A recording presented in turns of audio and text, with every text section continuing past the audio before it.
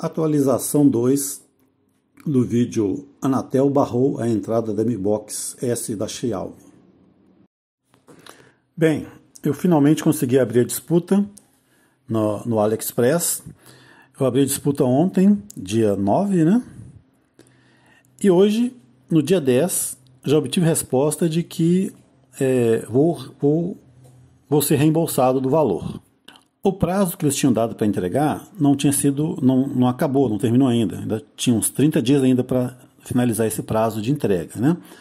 Mas o que ocorre é que o produto chegou lá no revendedor, na loja, né, que me vendeu. Então, como o produto chegou lá, eles devem ter, né, entrado em contato com a AliExpress, não sei como que é feito, né, avisado que receberam o produto de volta. A AliExpress avaliou o meu pedido de disputa. Eu enviei uma foto, né, do Correios falando, mostrando que foi devolvido e também apresentei um motivo, né, porque eu queria o reembolso. Vou deixar os prints para vocês na tela. E com isso a AliExpress julgou o meu pedido correto, né, e vai me reembolsar, vai me retornar o valor. O valor que eu paguei, né? Que na época que eu comprei, em 5 de fevereiro de 2020, foi, em real foi o valor de 272,77 centavos. Mas em dólar, isto é, isto foi 60, custou 63,62 dólares. E pelos valores do dólar hoje, que está, segundo consulta aqui no Google, está custando um dólar está 5,11 reais, isso daria, em valores de hoje, em reais, daria 325,9 centavos. Creio que seja isso que eles vão me retornar. A resposta da Xiaomi né, foi até rápida. Achei que fosse levar dias para me darem retorno. Foi, foi, menos de 24 horas. Né? Legal. E o prazo que eles deram para retornar esse dinheiro é de, é de entre 3 a 20 dias úteis. É sempre dias úteis para retornar esse dinheiro. Se não retornar nesse prazo, eu posso né, é, avisar eles e tudo. Tem um link aqui que eu posso clicar para né, avisar que não recebi e ver para eles tomarem as providências necessárias. Porém, eu não fiz meu pagamento com cartão de crédito. Eu paguei com boleto. Eu fico meio cismado de pôr cartão de crédito nesses sites internacionais, chineses, enfim. Preferi pagar com boleto. Aí, pesquisando aqui como eu receberia então meu reembolso, é, descobri um site, eu vou deixar o link na, na descrição, que diz que você recebe da mesma forma que pagou. Se você pagou com boleto, recebe em boleto, se você pagou com cartão, recebe no cartão, e assim por diante.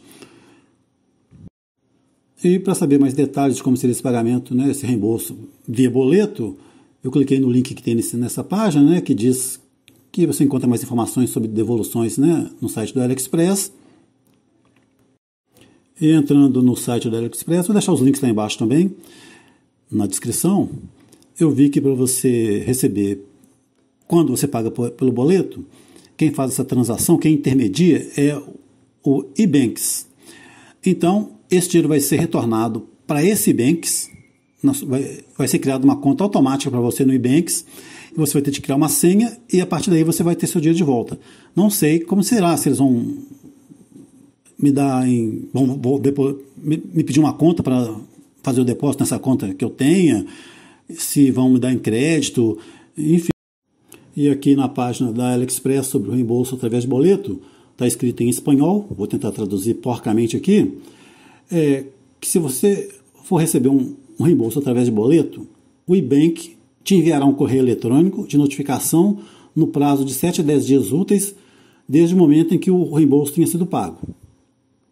E na foto que está aqui, na imagem que está aqui, está dizendo o seguinte: o reembolso do AliExpress está na sua conta eBanks. Olá, o nome da pessoa.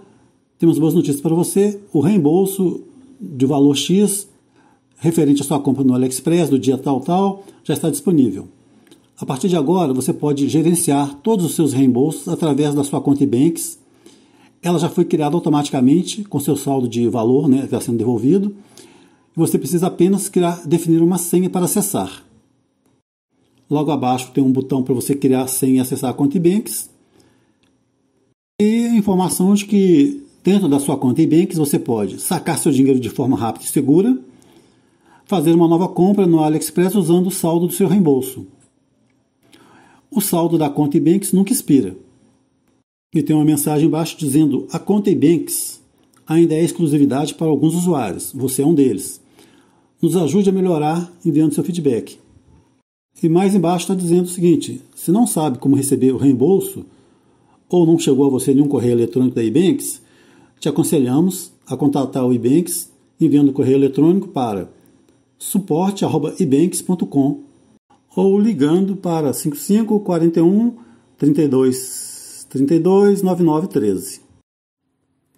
E um detalhe curioso é que quando eu fui abrir a disputa, né, você tem de colocar a razão da disputa, né, o motivo por que você está querendo abrir essa disputa.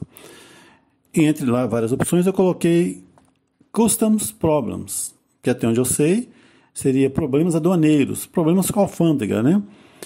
E o meu motivo, eu, foi o motivo mais próximo que eu achei do por não ter recebido, que foi porque a Anatel devolveu o produto, não, não permitiu a entrada do produto. Ok, coloquei esse motivo, que foi o mais próximo que eu achei do, do meu motivo, né? E quando ficou aberto né, o pedido de disputa, estava dizendo que a razão da disputa era as taxas aduaneiras são muito altas. Mas não foi isso. Eu não deixei de comprar porque as taxas são altas. Eu deixei de ficar com o produto porque a Anatel não permitiu a entrada.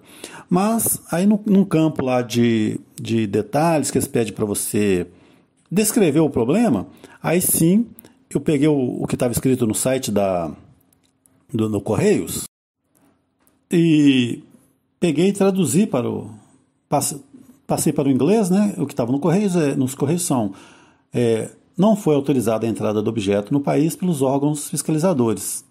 Objeto em análise de destinação poderá ser devolvido ao remetente, encaminhado para refúgio ou apreendido. Eu joguei no Google nessa frase, né, e foi, foi traduzida, né, para, para o inglês para Inspection Agents did not allow the object to enter the country. Passei do português para o inglês e adicionei também a foto do, do próprio Correios, né, com esse texto escrito né, em português. E, enfim, né, porque o, o, o, exato motivo foi esse, foi porque não permitiram a entrada, e não porque as taxas aduaneiras eram muito altas. Mas, de todo modo, né, eles aceitaram a disputa, me foi, a disputa me foi favorável e vão se dispuseram a me re, retornar o dinheiro. O problema agora é só receber, né?